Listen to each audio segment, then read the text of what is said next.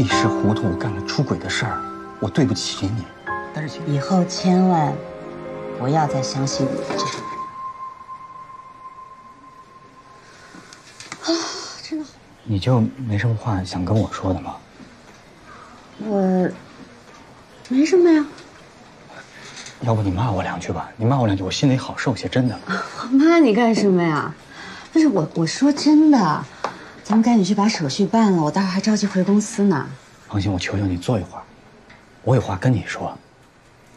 去年我的公司现金流出了点问题，你知道的。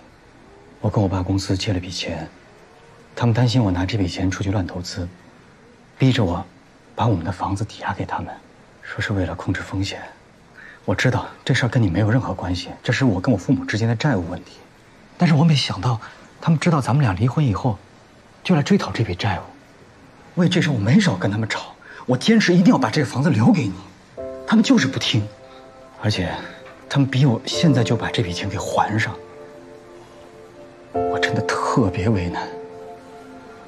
所以，这个房子是你父母收的？准确的说，是我爸的公司想把这房子。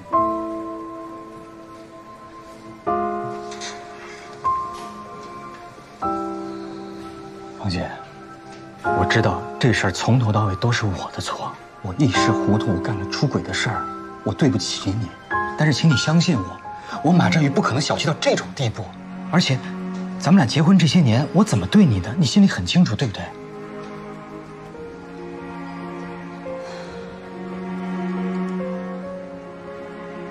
没关系的，我知道你很孝顺，而且你也是为了我好，所以。放心吧，我不会怪你。真的。而且，其实，在这段婚姻里，我也跟你学了不少东西啊，我会记得一辈子。是吗？就比如说，以后千万不要再相信你这种人。啊，真的好久没有这种感觉了。什么感觉？就比如说，我们刚谈恋爱，然后到订婚，然后到结婚，你是如何一次又一次把我耍的团团转？其实你刚才巴拉巴拉的那么多话，我来概括一下，大概就是说我们要离婚了，你父母想为你多争取一点钱，然后又如何想把房子占为己有。没想到你会用这么漂亮的方式把它说出来。可是我希望你明白，我以前相信你，不是因为我傻。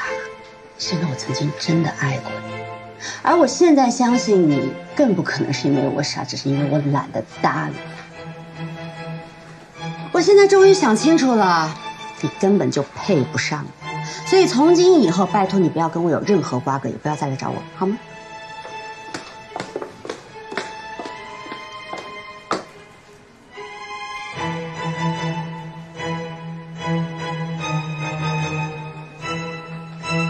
马振宇，我们来离婚吧。